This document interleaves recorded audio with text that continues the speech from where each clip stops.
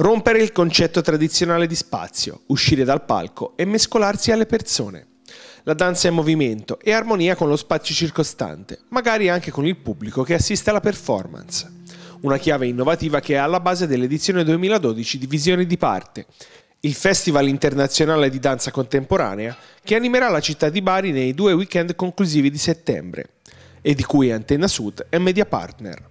Primo atto della rassegna, firmata dall'Associazione Culturale Qualibò, l'anteprima nei locali della Galleria Blue Org, con la proiezione di una serie di elementi di videodanza e una performance terzicorea molto coinvolgente. Il tema del festival quest'anno è più che altro la ricerca eh, di un luogo altro rispetto al teatro eh, in cui portare e sperimentare il linguaggio coreografico. Eh, anche i, gli ospiti internazionali abbiamo dal Sud Corea, eh, Galizia, Spagna e Grecia porteranno dei lavori che sono nati in spazi altri e sono eh, creati apposta per il nostro festival e quindi lavori che dal teatro vanno verso eh, site specific, quindi gallerie, città, strade eh, e viceversa, lavori che sono nati in urbana per arrivare a approdare al teatro.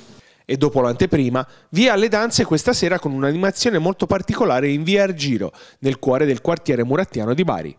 Abiteremo tutta la strada e abbiamo eh, diciamo, sparso i danzatori un po' nelle vetrine e un po' proprio all'interno sui marciapiedi, sulla strada. E il pubblico sarà accompagnato in questo percorso attraverso queste performance, guardando alle volte eh, in vetrina ciò che succede, altre volte facendosi travolgere dalla, dalla danza, per poi arrivare alla chiusura con un concerto del quartetto L'Escargot.